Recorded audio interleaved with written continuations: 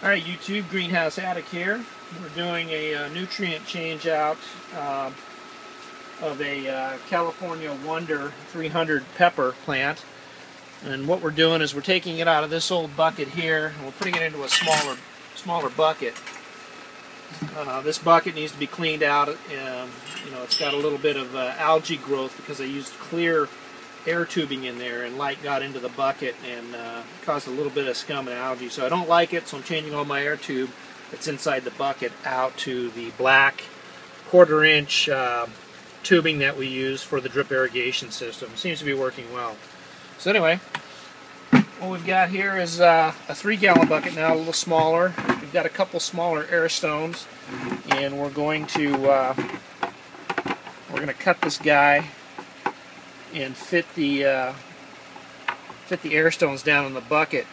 And one of the advantages of using this black tubing, it's a little bit stiffer, and I don't have to do anything to weigh my air stones down and keep them in the center of the bucket. Um, it helps them keep them low and, and where they need to be inside the bucket.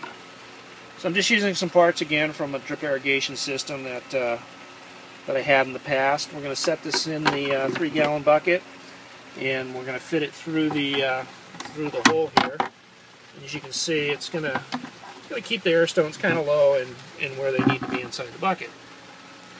Next thing we're going to do is uh, cut a small piece for the outside of the bucket. And this is going to kind of keep it in place.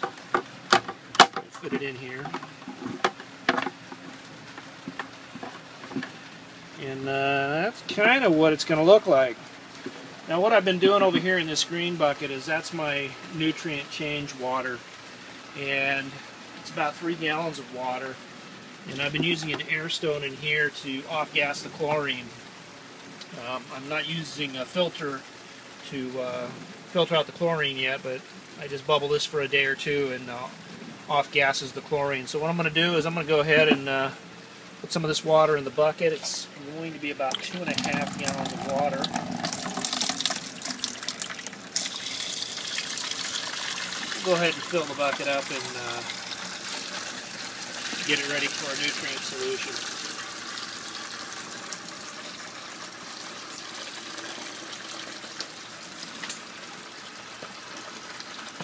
what I'm going to do next is use uh, Fox Farm Tiger Bloom.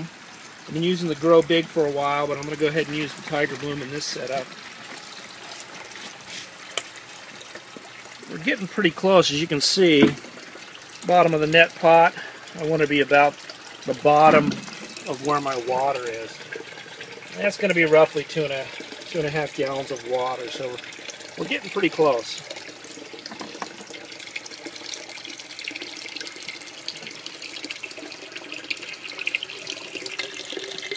I'd say they're about there. So let's go ahead and uh, test out our uh, our air stone here and see how it's going to going to work out. We're going to plug it in. Looks like we got some bubbles. Not particularly excited about uh, that type of uh, backflow preventer, so we're going to use a little different one. I'm using the cheap Walmart pumps. It looks like I get a little more air from this one. Oh yeah, you can see the difference. So that's about it. Now, shake up my Tiger Bloom real well. My measuring cup out. And we're going to put about 3 milliliters of Tiger Bloom in here.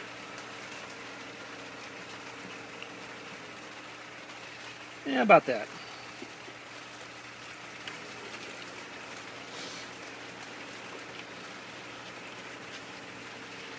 Let that mix itself for a few seconds.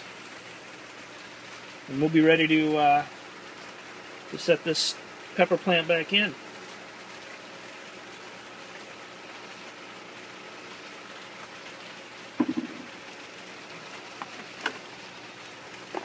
That's it for a down and dirty nutrient change of a California Wonder 300. You'll notice I'm using the uh, the grow stones, the recycled glass. Um, I really like this grow media.